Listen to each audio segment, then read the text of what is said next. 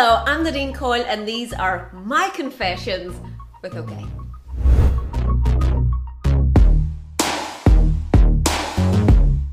The funniest thing that ever happened to me whilst in Girls Aloud was not funny at all. Everyone else finds it funny, but it was not funny at the time. We were doing um, some shows in Rotterdam and staying in Amsterdam. And I could hear something in the room, like some kind of rustle, and I thought it was a bat for some reason. So I was getting all the things out of the, the money bar, you know, chocolate and all your stuff as you do. And I had it sitting by my bed. And as I glanced over to get a bit of dairy milk, I saw a big, massive rat in the room, scared the life clean out of me. So I went running down the hall, screaming for the girls to help, and slept in Kimberley's room all night, tucked up in the blankets, like just shivering. So it's not funny for me, but other people find it funny. The most unlikely celebrity fan of Girls Aloud was um, George Michael. I met him um, on an airplane one day and we were sitting beside each other and he was like, look, look, look, I just bought your single. And he showed me it on his iTunes and we had a lovely flight together and signed some autographs and, and got to know each other. It was very nice. Weirdest thing I've received from a fan is, I have to be honest, I have amazing fans. I get really lovely presents, like ridiculously lovely presents.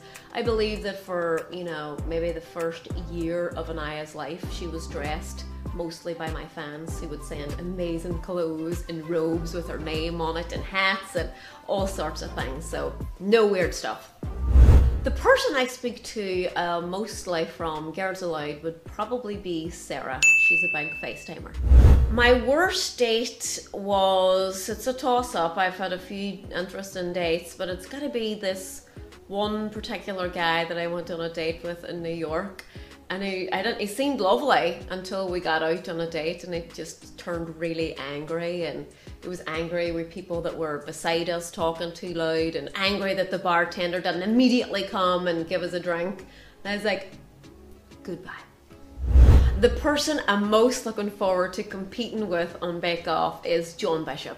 I like all of the guys, but I think John is particularly hilarious.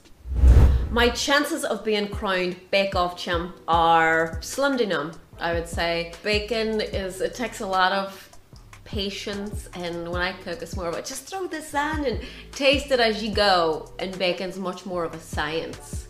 So we'll see. My greatest achievement in life is having my daughter Anaya. She's uh, now seven and she's just so wonderful and sweet and every time I look at her I think wow I was able to contribute to that in some way and that is my greatest achievement. My biggest fear is and you know don't judge me because I also love them is dogs. I am I am afraid of dogs a little bit and also rodents like any type of rodent is just my my worst my worst thing. But big dogs that are unpredictable and you know, people say that they can sense your fear and then suddenly the dog I just think senses my fear and then I get more freaked out and so I watch a lot of Cesar Millan, try to, you know, calm myself down and be the pack leader and so I watch a lot of that. Thank you for joining me at my shoot today OK. If you would like more exclusive content, sign up today to the VIP club at OK.co.uk.